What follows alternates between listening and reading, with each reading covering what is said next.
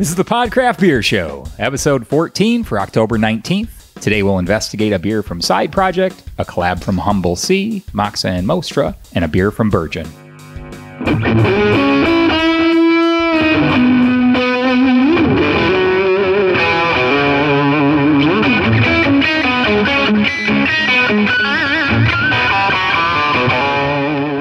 This is the Podcraft Beer Show, where we talk about craft beer from Southern California and beyond.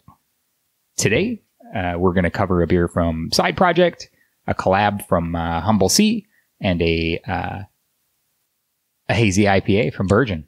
Charlie, I was waiting for you to step in. Yes, we are. I'm your host, Chris. This is your other host, Charlie. hey, hey, We got uh, tech guy Steve. Hello. Steve. Did I say this before? If it, if we didn't have Steve here, we would just be drinking beer. That's it.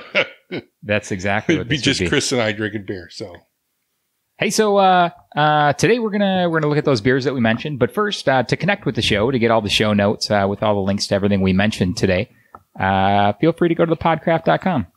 Website contains links to the uh, to help uh, to to connect to the podcraft of your choosing. I guess the the platform of your choosing. the stuff. Uh, just head over to the podcraft.com. Uh, please consider recommending the podcraft to all other craft beer fans in your I can already smell Family. that thing just popping that lid is beautiful. Yeah, so first up is a uh, is a saison from uh, from Side Project. smells fantastic. So this is uh, Beer du Page, Our Beer du Pays uh, blend number six. It's a saison aged in uh, uh, wine barrels. Oh yeah, it's really tart. Ooh. Give me some Wow, that's uh, that's back that's of the really throat good. action. Nice amber amber smell. You can definitely smell a little bit of wine. I think on there, huh? Yep, I do. That's just a super clean uh, saison. What's that? Uh, what's that come in at? About four percent. Little table beer. I don't know. It's you can't taste anything in it. It's not super boozy or anything. No, it's super light, kind of airy. It's got great color, great amber color. Uh, we're talking four percent. That's a phenomenal beer. You could drink that a lot, You drink that all day. all day. That's what. that's what he said. Wow, that's um, that's really really good. So I I, I grabbed this uh, this side project beer. They have uh, they're coming out with their um beer barrel time uh stout this next week. They've they've been uh, or is it OWK? They have a, a release coming out this week. Uh, they've kind of been pumping. Um, they're an all uh, barrel aged beer or brewery in uh, in in um, St. Louis. I haven't had too many of these. No, they're super difficult to get a hold of. They um Doesn't look like they brew that many. I mean, They don't. Yeah, no, they, they don't put out a whole lot of a whole lot of beers 'Cause everything's everything's barrel aged. They're a smaller establishment. but they do a really cool thing on the website where they let they have links to all the beers though, like that they've ever done, which was not something we find on some other sites. right? No, the, yeah, their their website's super super cool. Um, yeah, the beer that's coming out this this week is Beer Barrel Time uh, for 2020. Um, their their beers are when they when they put out one of their special release beers, they sell out in seconds. Like they uh, when I was in Minnesota, I, I tried to get a couple of uh, special releases that they put up with the plans of driving down to pick them up. I'm like, how many people are going to go to St. Louis to pick up a beer that doesn't have a uh, lot more people than there is bottles? It turns yeah, out, Yeah. Well, that's the thing. I mean, people know about it. It's not a secret, right? you know. So you're going to get that. I mean, we've. I mean, we stu- stood in line before. I mean, that's bad enough. I mean, it'd be great if they had enough for everybody, but they just don't. Not the case. No, phenomenal brewery. Uh, Cory King is the guy's name who who uh, runs the place. The, uh, him and his brother, they both came from Chicago, or Chicago area. I think they were one of them was working at um, uh, uh, Bur- they're making Bourbon County, Goose Island. Mm-hmm. Opened up their brewery in, in St. Louis, and they've been around for uh, I think seven years, uh, making phenomenal barrel aged beers. This is good. I mean, I, like I said, we've only had a few of these, and each one of super them is drinkable. Yeah, each one of them is delicious. yeah. I'd say everything uh, everything I've popped from there has been uh, has been very very good. My brother asked me, he goes, uh, "When are you going to do some crappy beers?" and I'm like, um, uh, I just him to well, um, what, uh, what do you mean by crappy beers? And I, he goes, ones you don't really like. And I said, well, why would we drink anything we don't like? So You know, I was actually doing a little inventory this week, um, and I think I'm going to have to uh, hit some of these beers that maybe I don't really like or I don't want to try. I was trying to figure out how I was going to get through some of them, but I'm willing to volunteer. yeah, I think uh, I have some I have some older peer stuff uh, that I've kind of Really? been sitting on. Um, that that needs to be uh, Well, needs to be had. it's um, we we did do that one that didn't didn't uh, age very well. That uh, throwing needles For sure. was not the best one. I mean, it it was still slightly drinkable, but it was because of that. Yeah, it wasn't. Uh, that wasn't very good. The um, uh, it, it I I'm gonna drink more of this and attempt to try and forget about that last. Yeah, it wasn't very good. So, anyways, it's delicious. I'll drink it. It's it's obviously quality material. They they don't do too many things that aren't very good. So that at least that I know of. Yeah, that's a that's a great beer. Hey, did you guys uh did you guys have any good beers this week? Anything uh, anything remarkable? Steve, Well, on the um, Oktoberfest side, I tried the Sierra Nevada Oktoberfest. It's Oh, a okay. it's more of a darker Märzen type beer. It was pretty good. How about you, Charlie? I uh, I had some uh, creative creature. Uh, their sour ale that's red was pretty doggone delicious. I thought. Um, then I had um, I was drinking out of that uh, German keg that I had in the back out there last night when I was cooking, and I also went with the uh, White Labs uh, Pilsner that uh, we picked up the other day. So Oh three they- out of uh, oh, I also uh, the double orange starfish from um, Aslan was another one.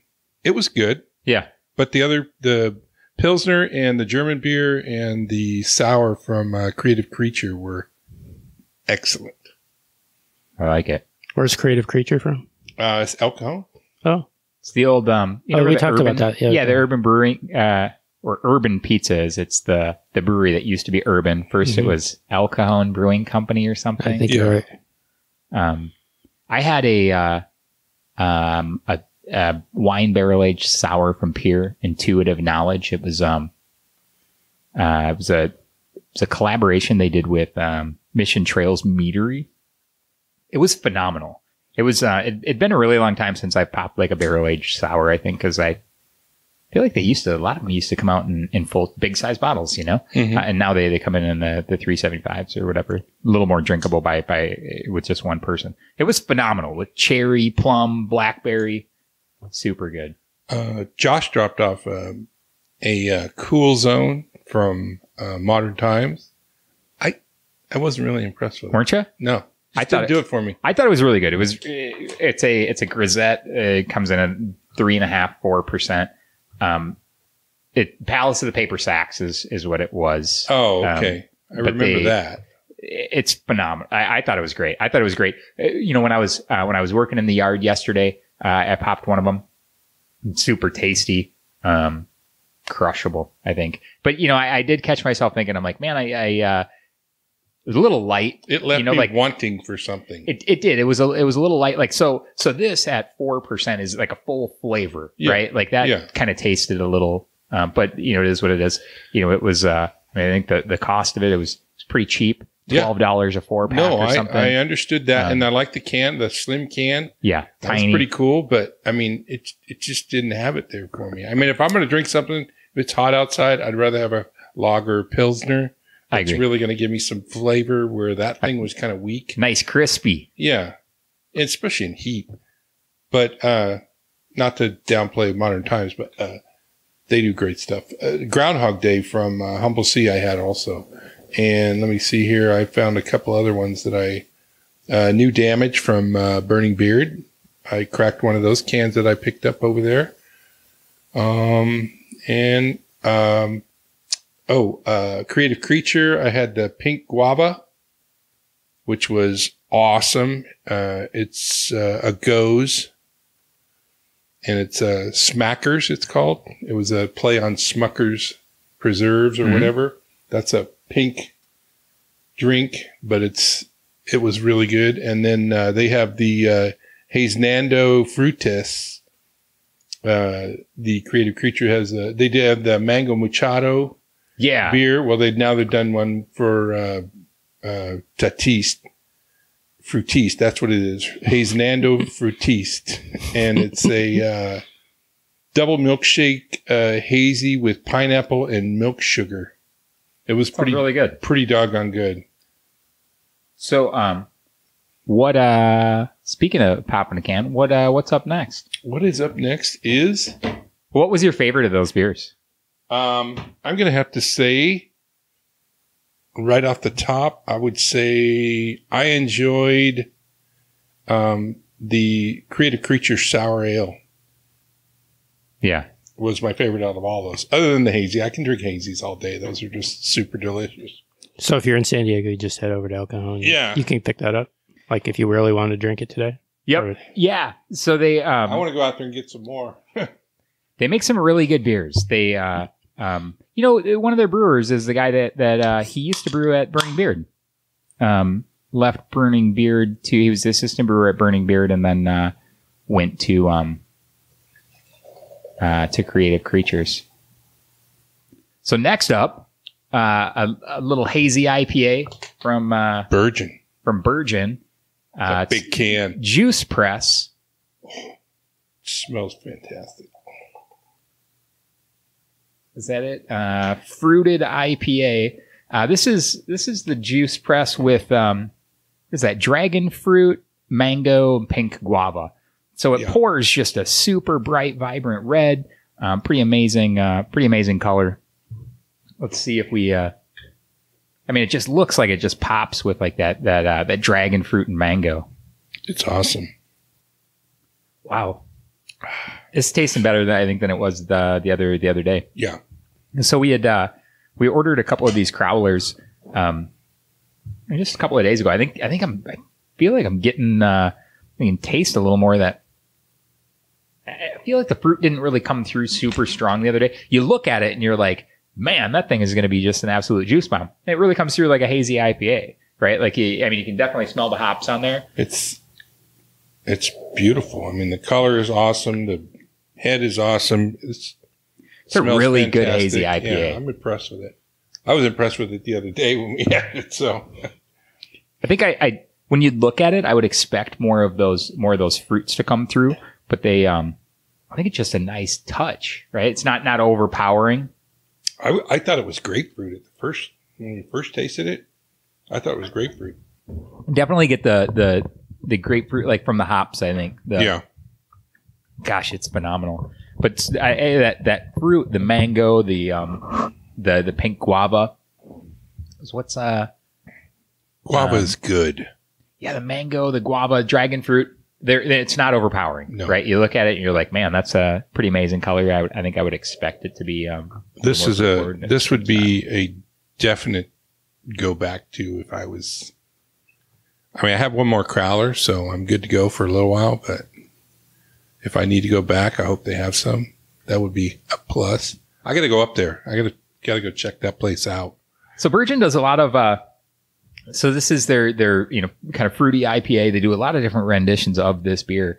Um they um or, or of their juice press. Looks like uh they've you know previously done uh passion fruit, mango coconut, guava raspberry, um different different renditions of, of, of fruit in there. Did you mention we you had that shipped?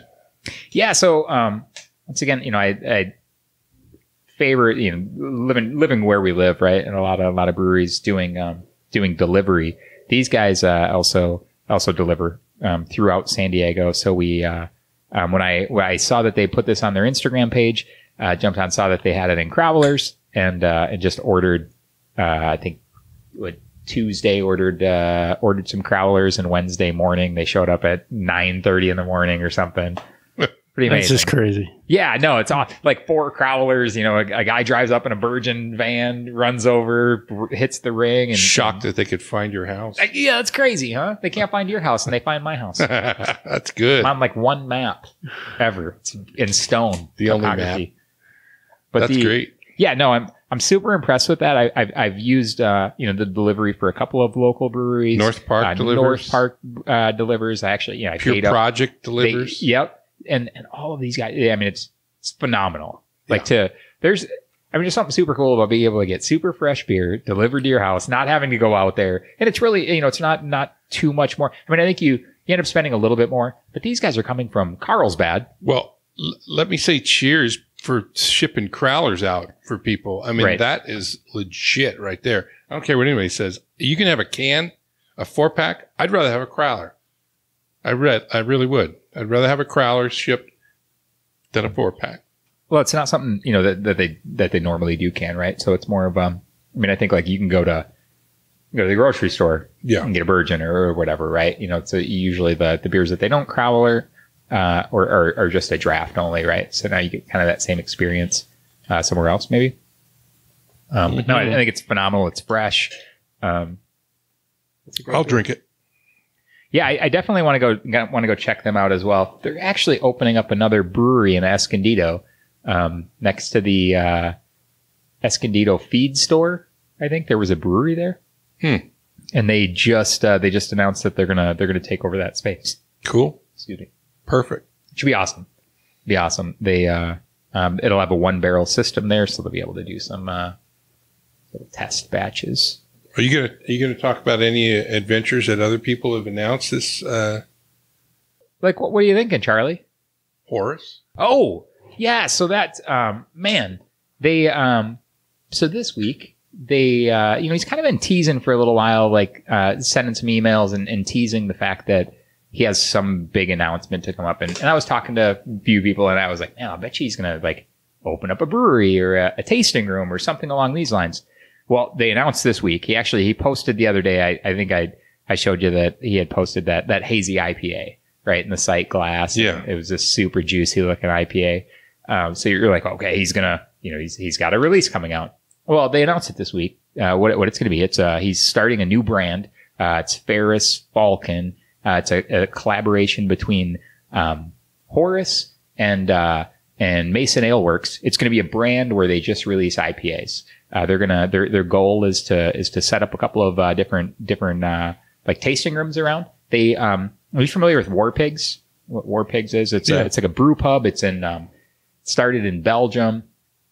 Uh, Yeah, that's the guy that took over uh, for Stone over there in Germany, right? well, it's so it's uh, it's a collaboration between Three Floyds in Muncie, Indiana, Oh, and okay. Mikkeller. Right, it's a brew pub that they do where they Mikkeller has his beers, uh, Three Floyds has their beers, and then they have their collab beers, and everybody that they kind of came in and did collabs with. So that's you know that's where Horus said he he was like, oh man, this is uh this is something I need to bring to Southern California. Was that same type of uh, a setup? so that's their plan. They're going to do a few different uh, um, tasting rooms once the pandemic is done, uh, is is over with, which should be I don't know six or eight weeks or something. No, but once it's done, they they they want to have standalone tasting rooms. You'll be able to get Mason Ale Works beers, some Horus beers, the Ferris Falcon beers, um, as well as as as, as other other beers. I'm ready. I'm ready to go right now. I know I'm sold. So Just go in they uh, their their first beer is a is a collab with um with Par- uh, Parish uh, Ghost in the Machine Yeah. is is their their big hazy IPA. So it'd be a uh, like a, a a mashup between that and and their base. Uh, The other half IPA. was mentioned in there, and that's what I'm waiting for. They have a lot of. Uh, the- Those guys They- are the most legitimate hazy makers. that's your favorite. That's New your favorite. Uh, one of your New favorite England style IPAs. Absolutely the best in the country, no doubt. Well, I can tell you, you know, if, if you step back and take a look at at Horus and kind of like, you know, how, how he kind of ramped up that first year, there was 55 collaborations around the country. Mhm. Um, you know, with some of the best beer makers, whether it be on the, on IPAs or stouts or sours or whatever it is, right? That guy has made beers with them, um, or for their festivals or whatever it is. Like he's super dialed in as far as, you know, his connections and the, and the, um, so they're like now you, you see those same guys are coming to town to make these hazy IPAs with him. So inevitably, like that guy, um, I, I mean, I think in short order, he'll be pumping out, uh, when you're working with and learning from, you know, the, the, the best guys in the business. Yeah. Um, The- I mean, he's, he's shown what he's done with his stouts. I'm excited to see, uh, his IPAs. He's had a few sours that are pretty decent too. I mean, I, Phenomenal. Yeah. Yeah. No, for sure. you can't you can't even question that he's not making some of the greatest stouts out there. You can't even question that. I yeah, I agree. Um, I, I definitely I've, I've missed the last few pickups, the club pickups, but it, there's some really phenomenal barrel aged beers he's released this at the beginning. You know, you had mentioned the other day a Toppling Goliath, and he has a Toppling Goliath. Actually, I take that back. Maybe the Toppling Goliath one didn't release in this, but there is a, a forager. There's yeah, a, that's uh, the one. Yeah, there's a forager, and then there's um there's a handful of just phenomenal beers. Uh, you know, barrel aged stout with Jay Wakefield, and, and um, but he's he's very very talented. I actually um to ensure that I was able to to get uh access to those beers I so I guess the the way that it's going to work is if you have a club membership at a Horus, you'll be able to gain access to these beers when they release these these cans. Um, they're not going to be released to the public. It's the your only access will be uh, cans through Horus to begin with, and then through Mason Ale Works. Just started a club the other day. Um, me and uh, Nick actually joined that membership, uh, so um, to get access to those cans for, Yeah. for Nick and his friends. yeah, good stuff, man. should be able to get some of those cans. We'll see. It's supposed to be two releases a month. Be we'll fun. see how they. November's the first release, so a couple weeks maybe. Are we fine. camping out in your backyard? Yeah, we'll see how that how that uh, how that all plays out.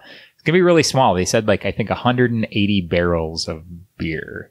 So I, I think I figured that out. Like that's not a whole lot of beer. Like when you look at the grander scheme of things, like it's only, um, gosh, it was like a it's like a thousand. Was it like? Uh, I mean, I guess I'll do the math real quick. But 30. I mean, you got 180 times 35. It's like 4,000 gallons of beer or something a year. It's not very much. Like not a, not a whole lot. Total? I think that was the. I think they said it was 180. It was less than 200 barrels in a year, is what the expectation is. Um, that's not a whole lot of beer. No, no, not cons- considering that uh, Stone makes three hundred thousand barrels. Right.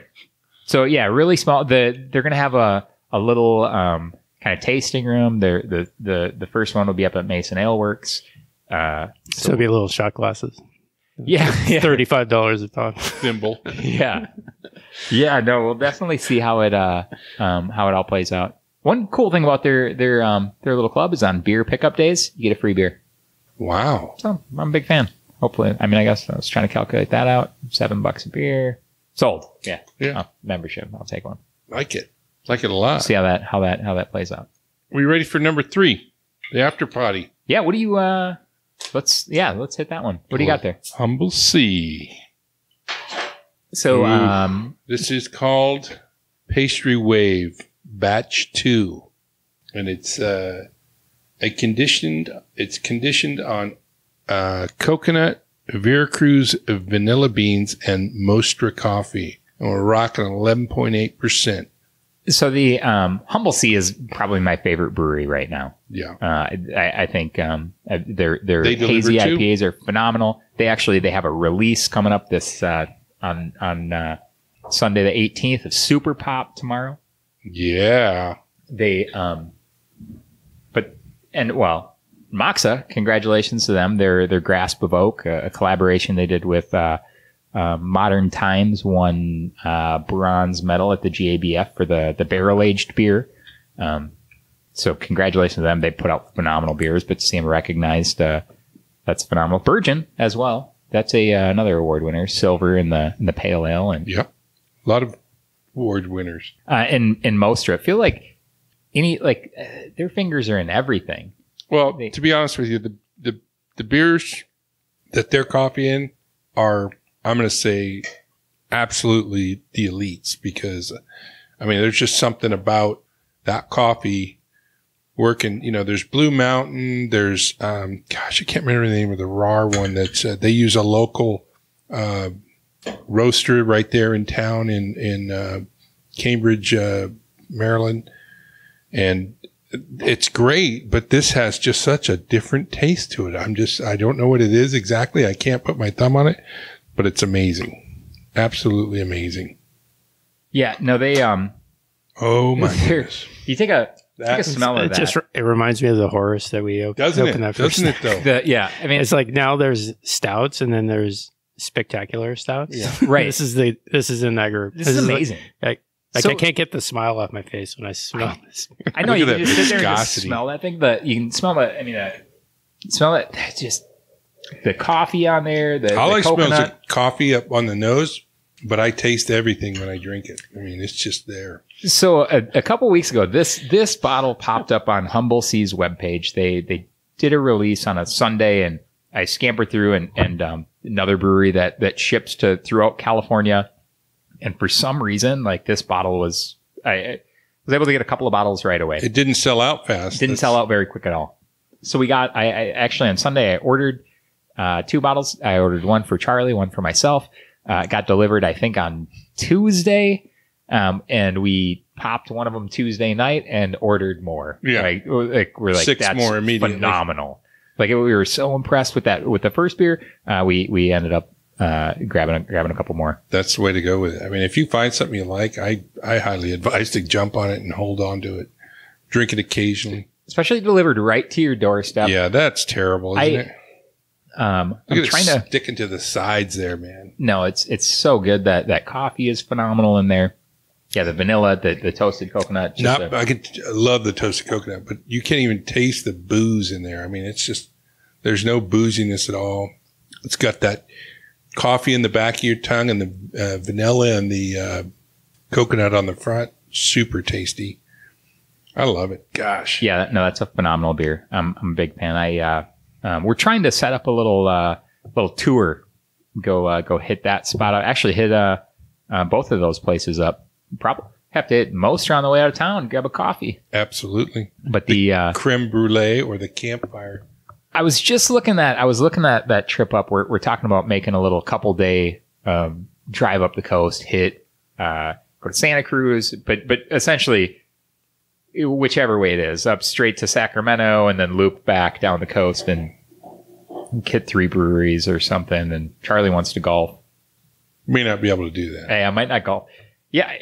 So I mean, soon enough we're gonna uh, we're gonna go up there and, and take a peek at these guys. I think. I'm ready.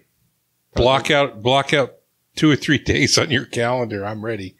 Hmm. I could go, I could leave tomorrow.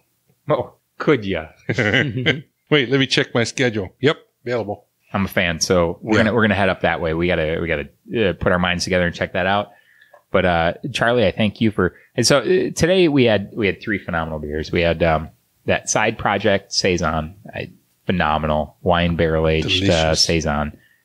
The the juice press uh, hazy IPA with dragon fruit, mango.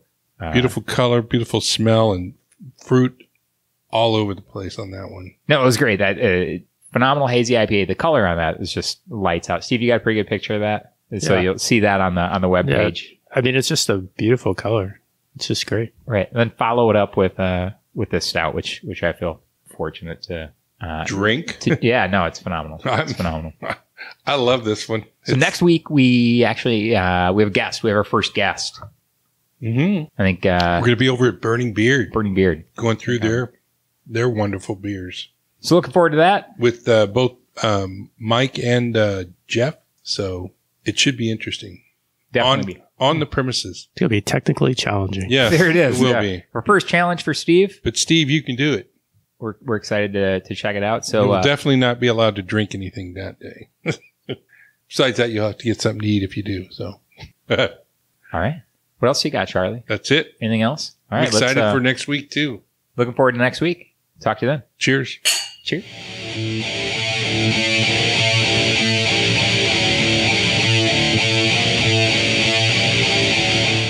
Podcraft podcast is licensed under Creative Commons Attribution, Share Alike 4.0 International. All rights reserved 2020. The podcast is produced by AztecMedia.net. If you have questions, please email thepodcraftpodcast at gmail.com. Fair use notice. Reference material and media have been placed within this medium for information, educational, and discussion purposes only in compliance with the fair use criteria established in Section 107 of the Copyright Act of 1976. It should also be noted that the opinions expressed on this podcast are those of the participants and are not endorsed by the participants' previous, current, or future employers or advertisers.